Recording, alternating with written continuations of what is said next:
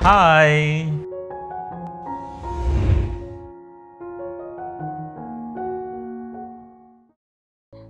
we have lot of people who are having very bad sugars and needing lot of medication to control the sugars so now you can see lot of your endocrinologists will be prescribing you to undergo a metabolic surgery especially for people who are obese and their sugars are not under control so what is meant by metabolic surgery so when we operate on the stomach and small intestine and reroute the food through a certain part of the small intestine, it causes lot of improvement in good hormones which actually get a better control of your diabetes. That is called metabolic surgery.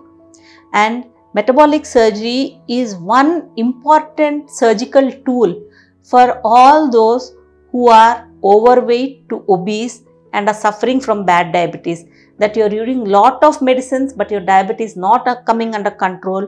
Opt for this surgery. It gives you a really a good change in your quality of life reduces the number of medicines you are using for your diabetes and also prevents the bad complications which would happen if your diabetes was left uncontrolled so whenever your doctor suggests for a metabolic surgery find a good specialist who is good at doing these surgeries and get it done and get a good control of your diabetes along with your obesity.